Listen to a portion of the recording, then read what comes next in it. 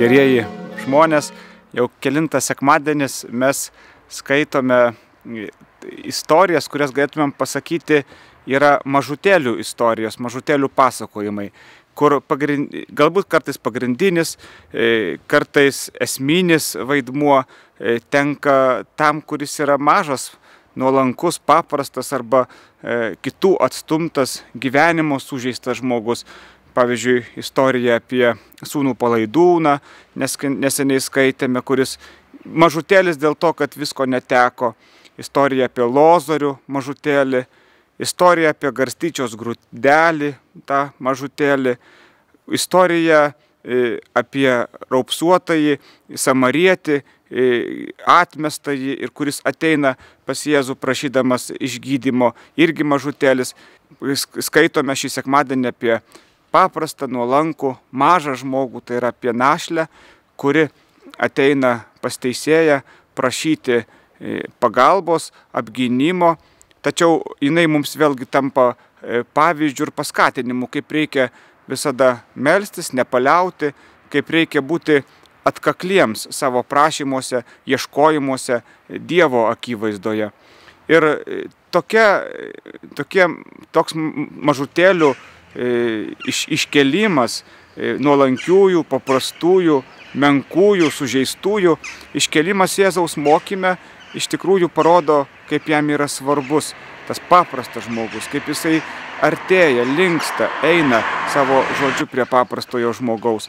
Ir tuo pačiu parodo, kad mažutėlis yra didelis tada, ne kada jisai nori nukopijuoti didįjį, ne tada, kada jis stengiasi atkartoti e, tuos didžiuosius, e, išaukštintuosius, bet mažutėlio visa galybė yra tai, kad jie yra pripildyti Dievo. Ir Dievo tas pripildymas, pasitikėjimas, atsiremimas į Dievą mažutėlį padaro didžiu ir jis tampa pavyzdžiu.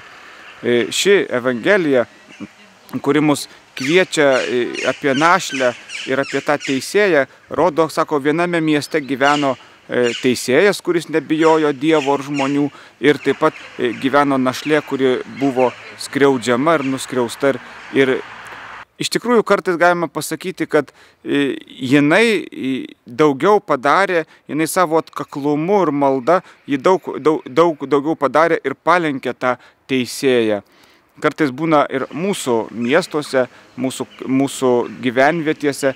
Iš tikrųjų matome, kad tų žmonių, kurie ateina į bažnyčią, yra tik tai saujelė ir tai yra labai silpni, labai paprasti žmonės. O dažnai tie, kurie turi valdžią, tie, kurie turi galybę, tie, kurie turi tam tikrą galę šitame pasaulyje, jie mažiau į bažnyčią ateina.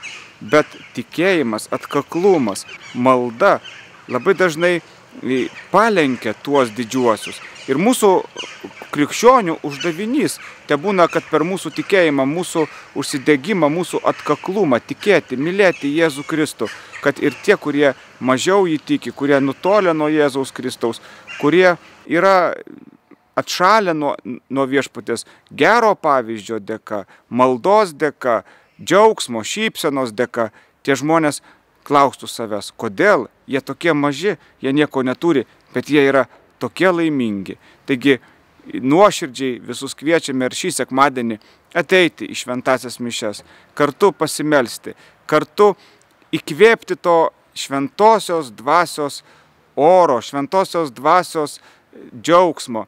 Žinote, kada, e, pavyzdžiui, tai pasakojo seni žmonės, e, kaimuose kepdavo duoną. Ir kada kepdavo kaime duoną, tai sako, mes suuosdavome, kad štai tuose nam, kad tie namai kvepia ir visas kaimas žino, kad tuo, tuose namuose yra kepama duona, nes jaučiasi duonos kvapas.